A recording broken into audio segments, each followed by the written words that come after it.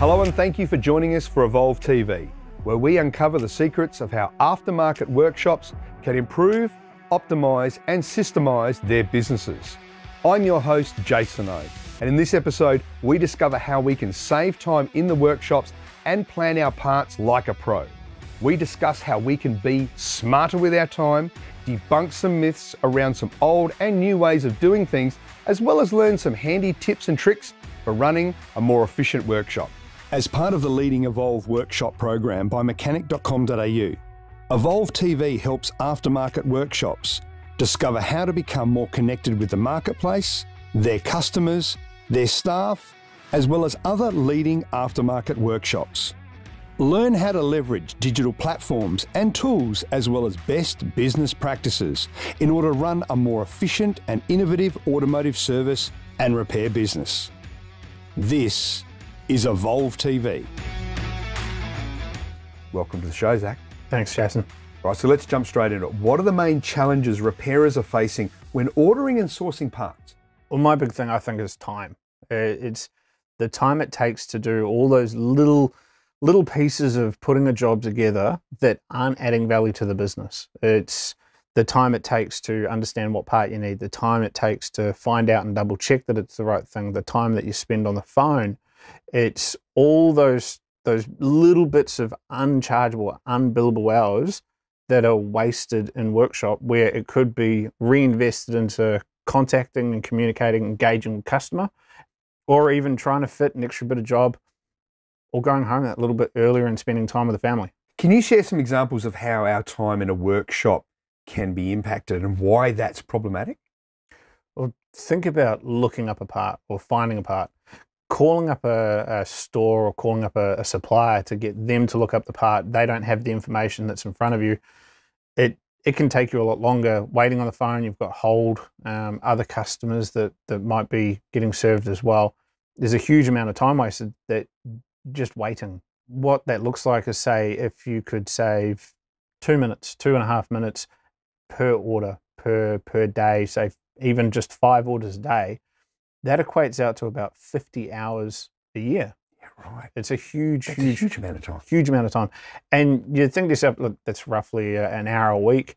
It's 10 minutes. I can stay back 10 minutes. But when you're ordering the parts is the busiest part of the day. Mm. And so when you need that time to spend talking to customer, when your service advisors or your parts team are trying to get the parts out, they're trying to get parts in, it's the really kind of crunch time. If that 10 minutes was three o'clock in the afternoon, it wouldn't be so big. But right then, bang, smack in the middle of the morning when you're really trying to get the day going getting started, that 10 minutes could be everything. And if you order the parts from some point A and it's not there, you've again got to start again to go to point B Oh, yeah, that's, and that's, hope they've got it. that's for each supplier. So you multiply that out, that's just one. If you've got three or four key suppliers that you deal with and you've gone through one, then the other, then the other, calling, spending all that time, you could be on the phone for 10 minutes trying to find one part. It, it- can just explode, can't it? So, in your experience, how are the repairers navigating these challenges and, and making up for lost time? That's a probably important one. How do they make up for the lost time? Well, they've got to they've got to bring that money back. So Mm. if they're investing that ten minutes, that ten minutes is worth a few dollars. Even if you're charging out to a customer as a billable charge, it's worth a couple of bucks. You've got to then go through and fight with each supplier to make sure that you're getting that best price. Whereas really, you could reinvest that time. You're not having to try and chase it up. You're not trying to have to make it back. Yeah. And the really hard thing is price is really important to, to a workshop, but it's not always important to a customer. There's there's been a lot of research done. Most recent one that I can think of, the AAA did a great report a few years back um, where they found that customers' number one preference, so the reason why they chose a workshop, was the people. They wanted to understand the people, the business, the engagement, the connection. The least selected primary reason was price. Right. And and so you're reinvesting that time instead of fighting and trying to find the the best product or trying to trying to claw that money back. You're you're investing that time right where it actually makes most sense to your customer, and ultimately those are the ones that are bringing the money into your business. yeah. I mean, it's, a a lot of people are time poor. And when presented with a solution to a problem that they might have, you know, if money is an issue, they'll normally pay to have it sooner. Mm. And so, quite often or not, that is like, can you do the job? Yeah, and and getting the work underway. If you spend that ten minutes talking about before going through for one part number, if you've got to go through and redo that for four or five cars that have come into the day, that's a full hour of mm. time that you're now waiting to get some of those parts in. They're missing the first yeah. run. Can you start all those jobs straight away? Are you going to end up with cars on hoists that are now waiting for parts that mm. don't show up in time? And it, it, it's got a cascading effect on how much how much you invest right at the start then helps build out or save that time through the rest of the day.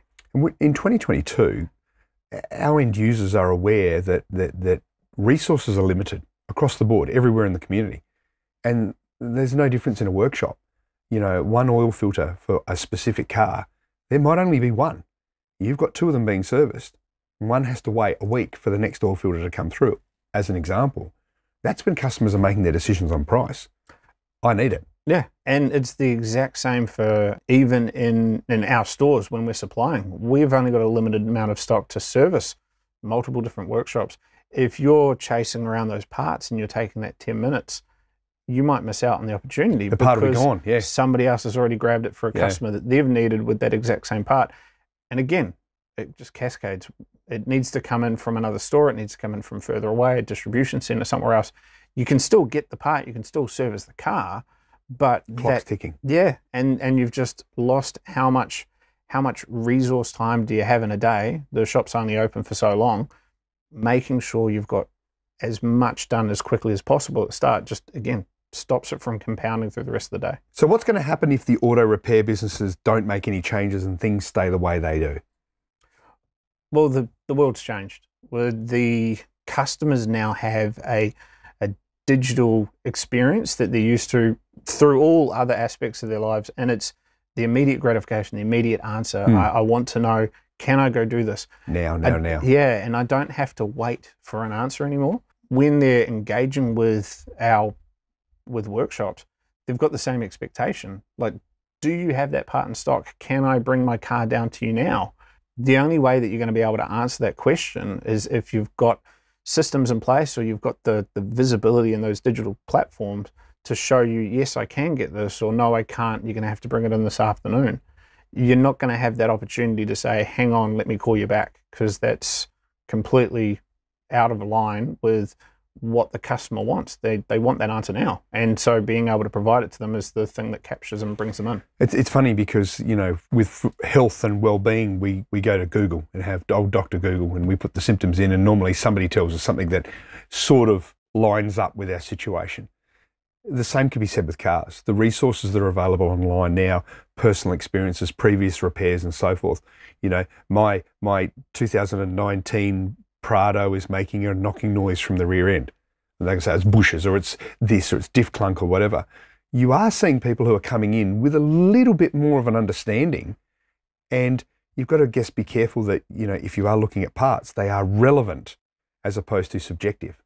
Well, and, and making sure that you're not taking that customer insight as as fact. They've mm. not they're not trained. They're they're not perfect and they might have looked up a lot of that content comes from overseas where vehicle standards are slightly different. It might be called the same car, but the part's slightly different. We have different shocks for, for our vehicles because our roads are different to, to other countries. And so trusting what they're saying, hey, can you get me this part number? You still need to go through and verify and catalog and make sure that it's it's yeah. correct. Yeah. Um, so again, you still need those tools, even though customers might be coming to you with that more information, you've got to make sure you're verifying it. Mm, it's interesting. The businesses need to change because the customers certainly are, aren't they? Uh, and and they've been changing for a while. The the mindful one I haven't seen yet was we already saw this change pre-COVID. Uh, percent of um, workshop customers preferred to deal with the business digitally, um, and I can only imagine since COVID, we've all been mm. locked away that that's changed significantly. There's been huge boom in digital industry, and I can't imagine that automotive would be any different. So, what would be some of the changes coming for the future? Things like just parts aren't aren't a solution for customer. It's I'm I'm not looking to get my brake pads changed. My brakes are making a noise and I want them serviced. And so the way that a customer engages is is going to adapt. It's going to turn to more solution um, options and and Mm. engines like mechanic.com.au service booking. That tool runs on the same data. And so if you're not, if you don't have confidence and you're not using um, tools that look up parts and this information now, then it becomes harder when these tools start becoming really mainstream for your workshop and your business to have trust in those because they're talking to the customer with that same information Yeah. on your behalf. Yeah, yeah. Well, mechanic.com.au is a great source to go to. But what I'm a little bit concerned is, you know, those those people perhaps uh, aren't already using the Navigator Pro. What would you say in regards to support for those people? Well, it's looking at the the things that it can do for them. It's a 24/7 access to a shop, so it's keys to the door to your local store and you can go in and pull that stock. It's not not just seeing what we've got, but being able to capture and take the stock that you need beforehand. That's an interesting concept. A re- yeah, it- well, a really good one that we have is there's a couple of couple of workshops. What they'll do is they'll wake up in the morning, they'll look through their jobs for the day while they're having breakfast at home, book all the parts, and and because they're mobile, they'll go past the store the second the door opens, everything's there. So they already own the parts. Yes. Oh, when when you order a part in in Navigator, it takes the stock off the shelf, even if somebody's not Yeah, physically in the it building. for you. Yep, it takes it off. Anybody can test it. Next time you send an order, hop straight back to that same part number, and you'll see the stock co- count go down because it's live. So what time are they doing this? We pick up the orders all through the day, but first thing in the morning is the busiest part. So if you get the orders in early, Because I'm thinking about those workshops that are ordering at 9.30, 10 o'clock, and there's quite a few that are doing it. If there's people in their area and workshops that are, are ordering prior, they're at a disadvantage. Yes, absolutely. And it's it's getting that stock and, and so you've got the confidence. I know what cars I've got to move when I get into the shop. I need these hoists. I can plan my day because I don't have to second guess or worry about when the parts are showing up because I've gone through and I've booked and I've picked everything up. That sounds like efficiency. It, it- it is. And there's a whole bunch of other things that we put in place to, to really try and help drive that. So one that we did a few years back was um, Rego Search Oh, yeah. yeah. just trying to make it easier to communicate. This is the car that I'm looking at. I know, so that way I know what parts I'm looking for instead of having to try and manually do it like the, the old way. And it's not not foreign technology, everybody does it now, but we were the first to push it into market. And it's those sort of things, just trying to help workshops really kind of pick up and build on the time that they're using make it more constructive to their business rather than just wasting it. The other piece that we do is a, a lot of customization. Um, you think about the smallest little things around. It's great I can see a list of parts, but I choose to use this brand over this brand. Mm. The system lets you choose your preferences, so it's always showing what you want to see first at the top, but not limiting you. If there's no stock or that brand doesn't supply that, there's still those secondary options, but you're keeping to to those structures and those those core brands that you choose to partner with as part of your business. Well, it's interesting because I did actually try it out. I've got a 1963 Dodge Phoenix. Didn't work, No. right? But my 2019 Pajero, perfect. Everything came up. It was absolutely brilliant. So I really can see the value in being a workshop owner, but being able to get those parts early, like you mentioned, that has to be critical to the success. And, and it is absolutely. And the other piece is the communication.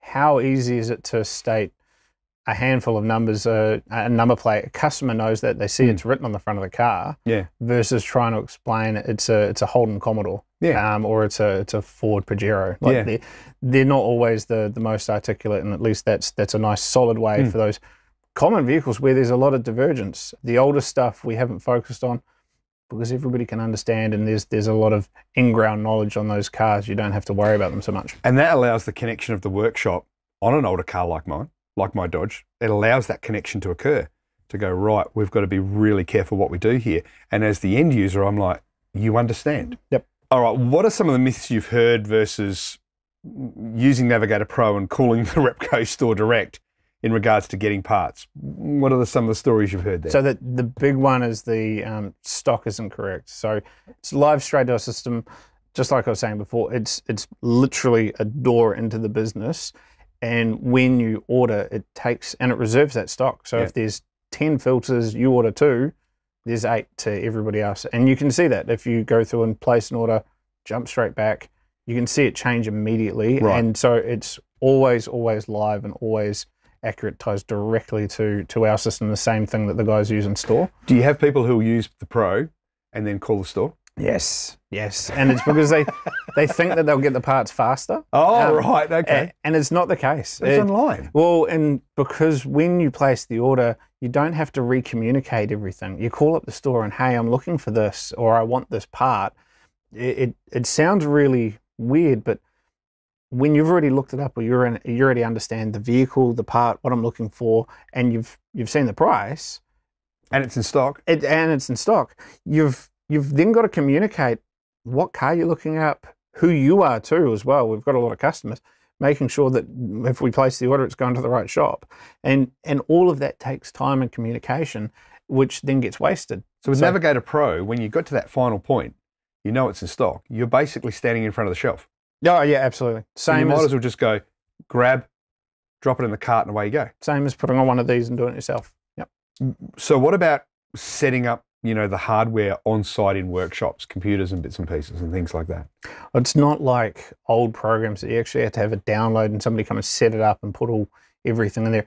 It's run as a website, so it goes on mobile app. You can use it on tablet. You don't have to do anything apart from rem- remember your login, just like you would for any other ordering platform or anybody else's e-commerce site. You don't need anything to to be installed or downloaded. So it's really easy. Just click on, opens up, log in, and everything's there and it's tailored to your pricing, everything straight out of the box because it's talking to our our systems and it understands who you are, what stock, what what stuff you want to look at, and where you are. So your local store. I've got this vision of being, you know, it's a 24 7 uh, access to a warehouse of car parts.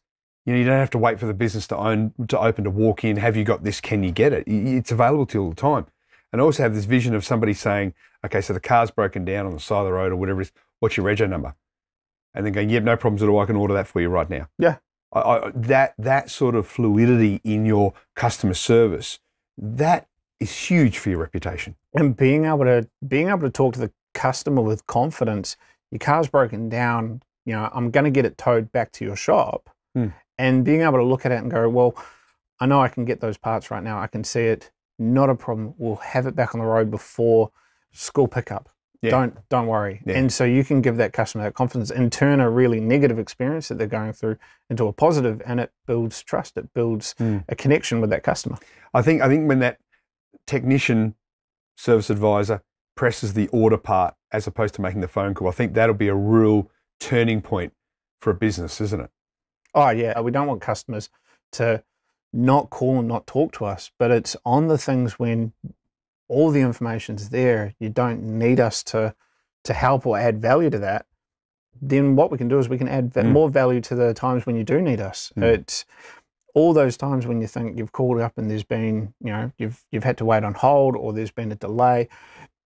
Our guys work so hard Through that. yeah, and you're you're just going right around it. Mm. You're you're popping over the shoulder, grabbing it yourself, and putting it there, and it's still going to Yeah. come out. Especially faster. those jobs that pop up during the day when you don't expect them. The ones that you're planning in the morning and you're doing that, but the ones that just lob on, you know, at lunchtime. Yeah. And you're like, right, I don't actually have time to call. Oh, they've got it. Grab and it's here. That's the real, real magic, isn't it? on even when you're doing those callbacks to customers too. You've got to you've found hey, there's something wrong in the car while I've been doing another part of the service or I've been doing some other work, and mechanically I've got to fix this before I give you the car back because it's dangerous. You can while you're on the phone to the customer go through and look at Hmm. those options. Make sure it's something you can do right now, or explain to the customer, hey, we're going to have to keep it overnight, or whatever that scenario is. Yeah. rather than setting up an expectation, hey, we've got to fix this, and then come back and say, oh, we're not going to be able to do it today. Hmm. You've you've got the confidence to say it's right there. I, I've got it. I've I've made it available. Oh, this is a really interesting question. What do you think auto repair businesses should stop doing now? What should they stop doing? Stop doing everything just because that's the way it's always been done. I guess. Yeah, okay. So that's the way. Uh, that's the way that we do it. That's the way that we've always done it. If it's not broke, don't fix it. Stop being open to change. Yeah, and and I guess it's it's also a little bit of a start question. Is is start questioning why you've done it that way or what makes sense. What's what's the value of doing it that particular way? If something's not adding value to the bus- uh, business, question why do we do it? Mm. What's how can I turn this into a positive? What's what's a better better process or a better option? What are the things out there? It's interesting because I remember a period of time in the work industry when I was in the industry, you called up for your parts. Then suddenly the parts supplier started giving you catalogs. So you could look up your catalog, get your number, and then call for the part. This is the next step. Yeah, and it makes sense. Just like then, the reason why you hand over the catalog is because the person on the other end of the phone isn't in front of the car. Yeah. They can't Yeah. see what the part is. Yeah. If there's two options, there's a two uh, a two pipe and a three pipe um, water pump. Hmm. They can't see that. They don't know what you're looking at, and so that that becomes a question that they have to ask and you have to answer. And you know, unless you've got a phone right next to the car and you're staring at it, you've got to wander out there and again more time Hmm. wasted. Whereas if you've got it on on your phone, you're standing next to the car. I can see that's the right one. Yeah. Bang, get it now. Yeah. And to stop doing something, stop doubting yourself. En- embrace the change. Absolutely. Like the the tools are there to to help do it and find the right information. It's the exact same catalogs that we use in stores. Stop doubting yourself and doubting that you're not the expert. I Mm. mean, you do the work on the car. Yeah. The the the part's the easy part, Pardon the pun, of course. and that's uh, it is it, that's the simple part, isn't it? New and existing users of Repco's Navigator Pro. There's always going to be tips and tricks for the people who have used it for a long time and a short time. Give us some gold.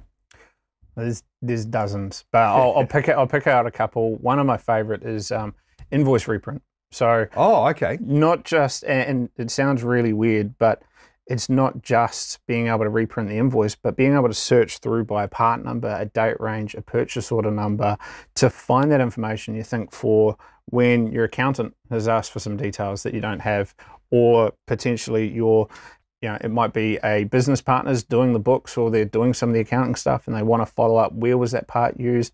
Where was the credit for that? If you type in that part number it's going to bring up all the credits and all the invoices that have been raised. Wow. And you can chase that up you can follow that up That's pretty cool. and another is saved parts so uh, on the other end if you've got a shopping basket that you normally purchase from so um, you've got a particular brand of degreaser and cleaners or there's hose clamps and you've got a stand Oh, yeah, like a loyalty. yeah, and you can set up your own little shop of these are the things that I use in my store and these are the things that I order Yep, all the time. yep. And it makes sense because it makes finding those parts easier. But the other really big trick is logging in and checking it every week because it brings up and it shows you when they're on special and that's the perfect time to stock up. Oh, bargain. So just tick on, you'll see the price in red and then hit buy, buy, buy on anything that you stock up those consumables, the things that you're going to always run through, and you're not missing out on deals, you're not missing out on specials. Another one's related parts. So what we do is we link certain parts together. So when you're looking them up, that you can see here's the other option. So oh, yeah, so talking like an easy guide. yeah, and it's more more not so much as a, an upsell opportunity, but you think about your um, customer service person, they might not be mechanically trained, and they're not going to think through all the accessory things that go wrong or or might go wrong, and they can go through and see it all in one package. So I've looked up, um, for example, uh, a radiator. Um, whenever you sell a radiator, always sell a radiator cap Yeah. because that's the part that the customer recognizes as what the radiator is. And if you've put an old, dirty, rusty radiator cap on, it might be perfectly fine. The the customer's going to question, "What did you do?" For the extra fifteen dollars on a on a three hundred dollar part, chuck it on nice and shiny, and it presents well. You wouldn't put the old clamps on a hose, would you? No, no, and it's that that sort of thinking and that sort of makes perfect common sense to a mechanic or somebody that's been in the trade for a long time. But if you've got somebody that's less experienced and in more of a customer service role, they might not, and that's why we present those parts underneath, just Yeah. as little reminders to hey, don't forget this, and maybe you need these. Plastic sump plugs on um, Euro vehicles as well. Nothing worse than draining the oil and then going, I can't put this back in. I can't drop the car. I can't move it anywhere. It's sitting on the hoist waiting for a $3 part. And the final one is to just click and explore. Play around. You can't break the system. It's not a program on, on the computer. It's not going to crash. Click all the buttons. There are dozens of things that we've built and put into the system based on customer feedback and request. And they're things that have helped one workshop, they might help yours as well. Yeah, right. And there's just so many to to just jump in and play. Don't be scared and have a go. There's there's literally some of the best things that have gone in have been little tiny things that customers have asked for. Automating Rego being used as purchase order. Yeah. Just a little tick flag in the settings, and you can do that. Customer request, we put it in there.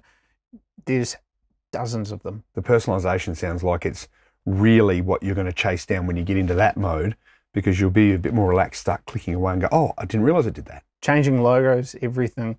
I can't overstate how many how many things that we've got in there that are just really bespoke ways of making the system tailor to what you want Yeah. and what you want to do.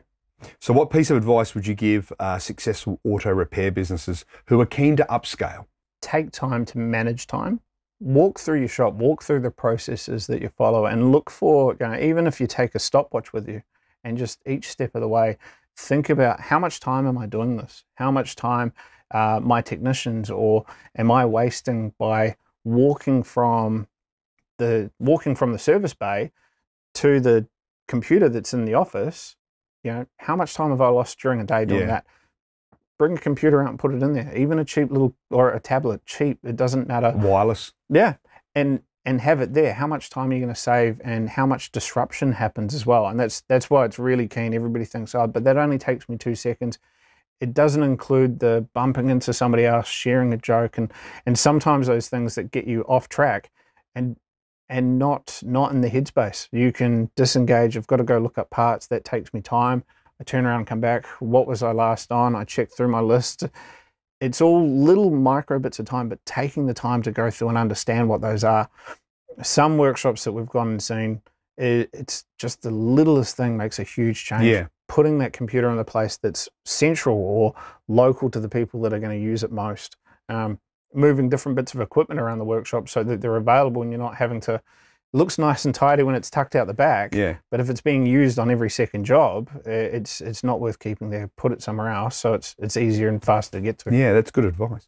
Another one: let your trainees and your your new team members use the catalogs. It's they're digital natives. They're playing on their phones. They're used to this stuff all the time, Quite often they're younger as well. and and just let them dive in because they'll pick up things that you might not, you might not Yeah. see, and it's opportunity.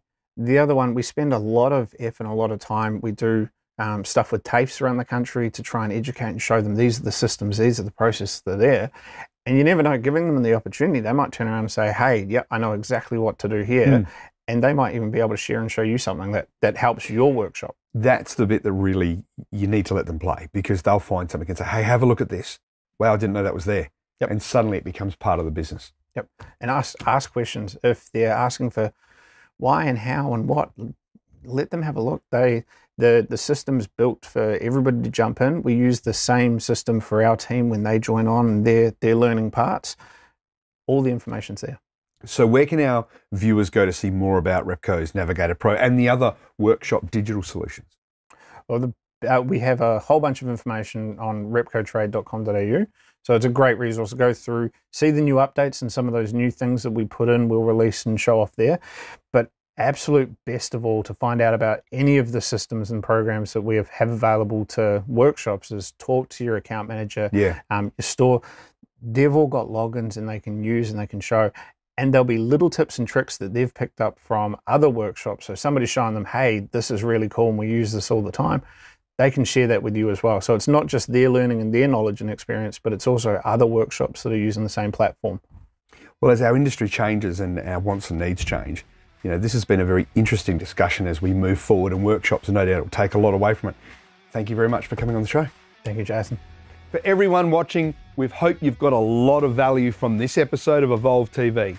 If you have any comments or questions about what we've discussed here today, go ahead and visit the Evolve Hub community to continue the conversation, and we look forward to seeing you for the next episode of Evolve TV.